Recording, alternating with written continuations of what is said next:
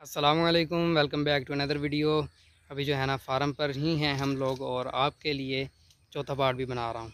क्योंकि यार बार बार मौका नहीं मिलता और ना ही इतनी जल्दी इतना लंबा सफ़र तय किया जाता है और ना ही इतना टाइम है कि बार बार यहाँ पर आया जा सके। तो अभी जो है ना, चौथा पार्ट भी बना रहा हूँ आप लोगों के लिए ताकि सभी वैरायटीज़ आपको दिखा सकूँ। तो यार, इसी बात पे जो है ना सब्सक्राइब तो बनता है सब्सक्राइब लाजमी करें।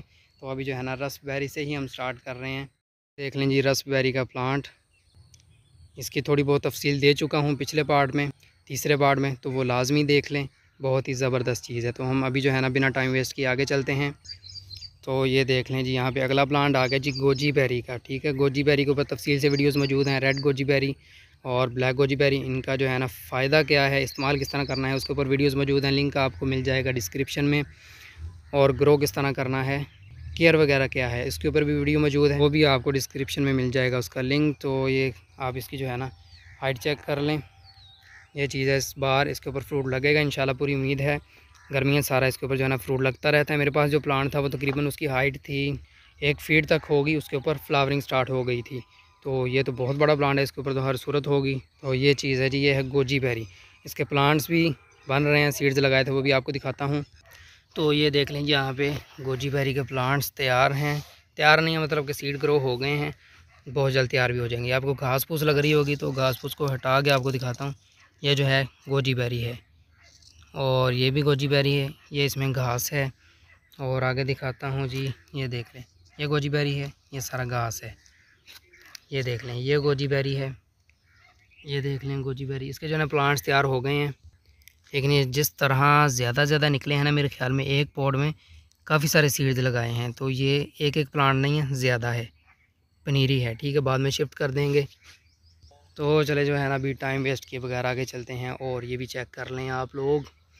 वेरीगेटेड है लेमन होगा या कोई और चीज़ होगी, या माल्टा होगा, पूछ लेते हैं हम यहाँ साहब से और इसके ऊपर भी फ्लावरिंग स्टार्ट है। वहाँ तक मैं पहुँच नहीं पा रहा तो आप वैसे ही देख लें। ये देख लें जी फ्लावर्स वेरीगेटेड लीव्स हैं। ओके हो गया, आगे चलते हैं। और ये देख लें जी, यहाँ पर रेड प्लम ये चेक कर लें, इसके लीव्स देख लें, पूरी तरह रेड हैं, शाखें भी रेड हैं। और ये देख लें, यहाँ पे सिल्वर बेरी का बड़ा प्लांट लगा है। सिल्वर बेरी के मेरे पास भी प्लांट्स पड़े हैं, लेकिन ये वैरायटी अलग है वेरीगेटेड है। ये देख लें। फ्लावर्स आते हैं इसके ऊपर, लेकिन अभी टाइम नहीं है। यह जी red plum longan fruit guava, बेलगिरी। यह शरीफा यहाँ पे काश्त किया है और ये है जी अना एप्पल। अना एप्पल ये है मेरे ख्याल में जो पहले आपको दिखाया था, वो शायद प्लम होगा, इसके लीव्स में फ़र्क है। ये कंफर्म अना एप्पल है। ग्राफ्टेड, ये चेक कर लें।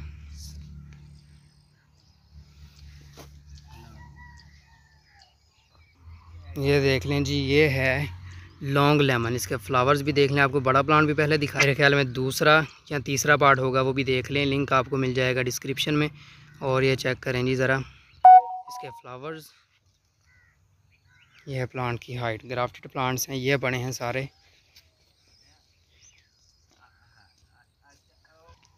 और ये देख लें जी, आगे भी लेमन की वैरायटीज़ ही पड़ी हैं, यूरिका लेमन, ये फ्लावर देखें ज़रा, माशाल्लाह, किस तरह गुच्छों में लगा हुआ है ये सारे। लंबे लेमन हैं, ठीक है? ज़बरदस्त हो गया। उसके बाद ये देख लें जी वेरीगेटेड ये लेमन होगा, क्योंकि लेमन में ही पड़ा है। दूसरे लेमन के साथ तो ये भी वेरीगेटेड लेमन होगा। ये देखें जी, ठीक हो गया। उसके बाद आगे पानी लगा है आगे नहीं जा सकते, वो देख लें, वहाँ पे लगे हैं जी। Finger lime red centre lime इस बार जो है इनके ऊपर फ्लावरिंग स्टार्ट है, वो मैंने शेयर की हुई है वीडियो जिसके ऊपर फ्लावर्स वगैरह लगे थे। ठीक है जी, उसके आगे जो है ना आ गया एक और वैरायटी सेट्रस की ही है। ये मेरे ख़्याल से होगा पोमेलो येलो पोमेलो जो आपको पहले फ्रूट दिखा चुका हूँ, लगा हुआ, मेरे ख्याल में दूसरा पार्ट होगा शायद, या अभी चौथा पार्ट बन रहा है तो चारों पार्ट्स आपने देख लेने हैं, तफसील आपको मिल जाएगी सभी प्लांट्स की। ठीक है जी तो आगे जो है कुछ वैरायटीज़ तैयार कर रहे हैं। यहाँ पे जो है ना रोज़ एप्पल के प्लांट्स लगे थे बड़े साइज़ के, दरख्त पूरे मेरे ख्याल में तीन या चार थे वो। मियाँ साहब से पूछते हैं हैं अभी या नहीं? वो भी आपसे शेयर करता हूँ। और ये देख लें जी, ये चीज़ मैंने आपको पहले दिखाई थी इसी वीडियो में, जिसको मैं अना एप्पल बोल रहा था, लेकिन देखने में मुझे गलती हो गई है। प्लम की शायद कोई वैरायटी होगी। ये सारा अना एप्पल प्लम और सिट्रस की वैरायटीज़ पड़ी हैं।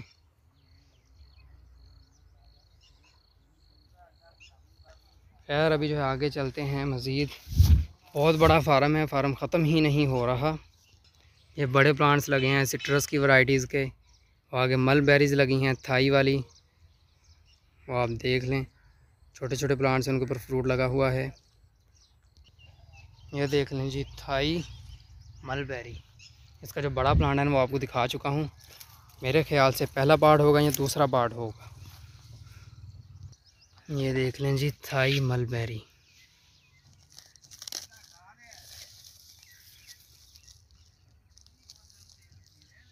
red cherry plum, पूरा बेड बनाया हुआ है यहाँ पे और बहुत सारे प्लांट्स पड़े हैं।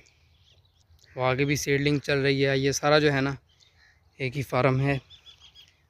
तो इसको जो है ना, शूट करने में चार वीडियोस बनी हैं और बहुत सारी चीज़ें जो है मैंने स्किप की हैं। तो एक चीज़ जो है आपको मज़ीद दिखा देता हूँ, वो ज़रूरी है।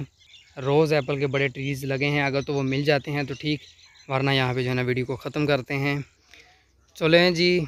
रोज़ एप्पल वाला जो मामला है, वो ख़त्म हो गया तो अभी जो है ना, यहाँ पे मैं वीडियो को कर रहा हूँ ख़त्म। तो चार पार्ट्स बन गए हैं, काफ़ी सारे प्लांट्स दिखा दिए हैं, बल्कि बहुत सारे रह भी गए हैं। तो वो फिर कभी इंशाल्लाह चक्कर लगाएँगे। रमज़ान शरीफ के बाद जब गर्मी का जो है ना ज़ोर टूटेगा और मियाँ साहब ने कह दिया है कि जब फ्लावर जो है ना मज़ीद खिल जाएँगे और फ्रूट्स वगैरह भी बन जाएगा, उस टाइम पर आपको बताएँगे। तब लाजमी विज़िट करें तो इन आपके लिए उस टाइम पर भी चक्कर लगाएँगे और वीडियोज़ बनाएँगे। तो उम्मीद है आपको ये चारों पार्ट्स जो हैं पसंद आए होंगे। यहाँ सईद अहमद साहब का फार्म जो है आपको पसंद आया होगा। वीडियो को लाइक करें, कमेंट करें, शेयर करें और चैनल को सब्सक्राइब करें और चारों पार्ट्स का जो है लिंक आपको डिस्क्रिप्शन में मिल जाएगा। अल्लाह हाफिज़ नासिर।